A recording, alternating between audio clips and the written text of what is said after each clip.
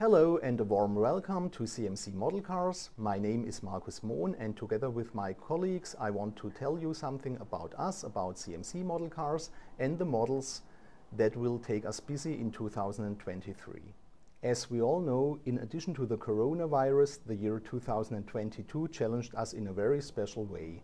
The whole world was affected and still is. In December 2022, half of our employees in the factory fell ill with the coronavirus and therefore sometimes only half of the team was in production.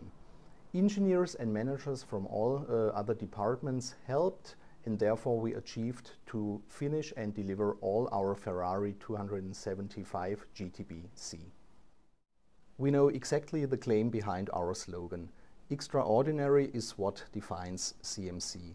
Our models are extraordinary and our employees have extraordinary skills. They give their very best to achieve the highest results every day. Extraordinary is also our claim when we develop new models. For example, uh, over 85% of uh, the parts of our new Alfa Romeo P3 consist of metal. This is a new record even for CMC. In total, the car consists of 1,805 parts. It is almost uh, normal at CMC that the engine is shown with all uh, secondary uh, elements and the piping and wiring as well. Uh, the wheel suspension is shown uh, with the leaf uh, springs and the shock absorbers as well. The damps consist of several sheets of sheet metal as well as the leaf springs. Everything is functional, of course, at CMC. A particularity of the P3 is the drive shaft that is divided just behind the differential. It's uh, forked in a V-shaped way and this enables that the seat can be mounted directly on the bottom of the car in order to lower the center of gravity, which is quite important for a race car. Alfa Romeo is undoubtedly one of the biggest names in the racing world. The Alfa P3, also called Tipo B, is a victorious racing car of the early 1930s. Experts are uh, thinking that it's maybe one of the best racing cars of all time. Great racing drivers as for example Caracciola, Fagioli, Achille Varzi and Nuvolari flew from victory to victory on this car.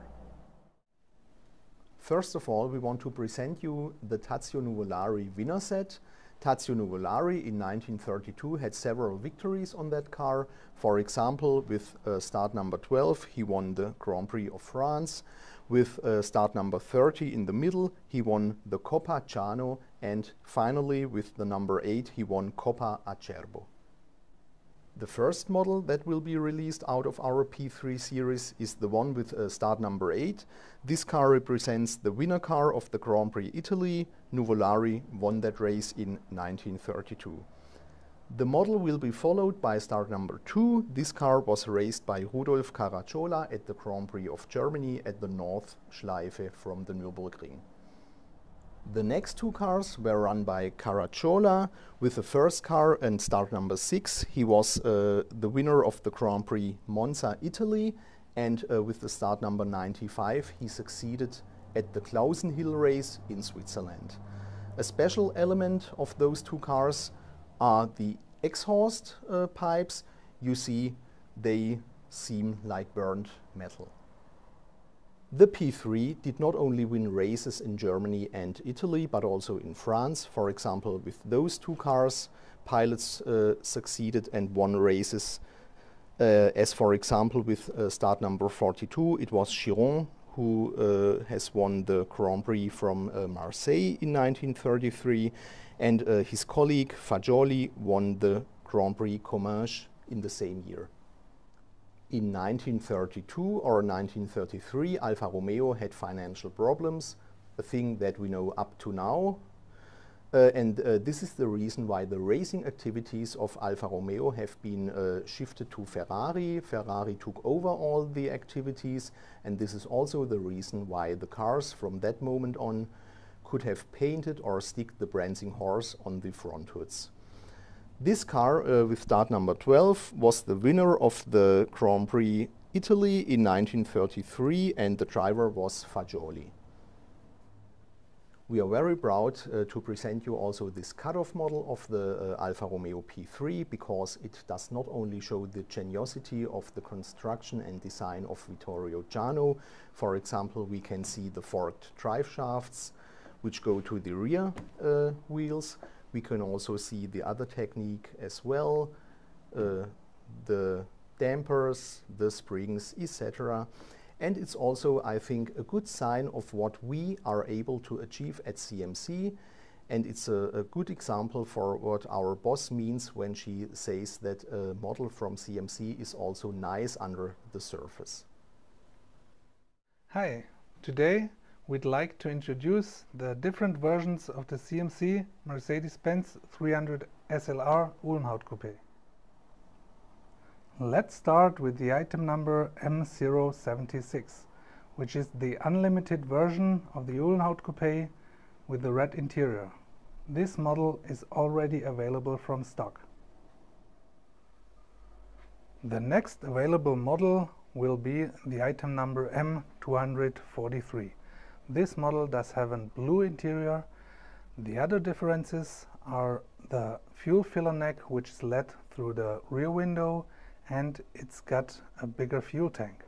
This model is also an unlimited version. Let's come now to the two racing versions of the Uhlenhaut Coupe which are both based on the model with the blue interior, the item number M243. The first of both is the item number M244, which was driven by Rudolf Uhlenhaut itself at test drives for the Grand Prix in Sweden. The second race version is the item number 245 with the starting number 15. It was driven at the test drives for the Tourist Trophy in Ireland in 1955 by Earl Berghe von Trips. Following our company philosophy, we intended to also improve something when doing our re-edition of the Uhlenhaut Coupe. By redesigning the shape of the wing doors, we were able to optimize the gap dimensions. The door now sits much better and flush in the body. The tiny mirror bases and holders previously were made of plastic now, after uh, several attempts, we changed them also to a copper alloy, so they are cut of metal and are much more resistant. We improved also the front grille of the Uhlenhaut Coupe. With the beginning of 243, we bended the ends of the central uh, struts a little bit more uh, downwards, so the shape uh, still corresponds more to the original. We also improved the Mercedes star on the back hood. Even if there was no need and no complaint by customers, it was our claim to improve that single piece. Previously, it was made out of aluminum. Then we made several attempts with uh, stainless steel, but finally we arrived at a copper alloy, and only this alloy permits uh, to have uh, really sharp edges of that logo and uh, to have, uh, with a special coating, uh, a durable shining surface also.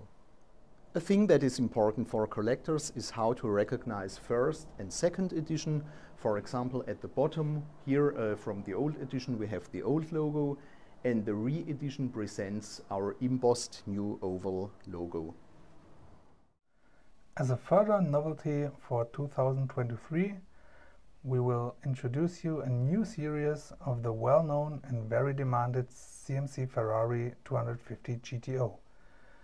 We will make six right-hand drive models and four pieces with left-hand drive. More information about limitations, variants, drivers and owners you will find on our website.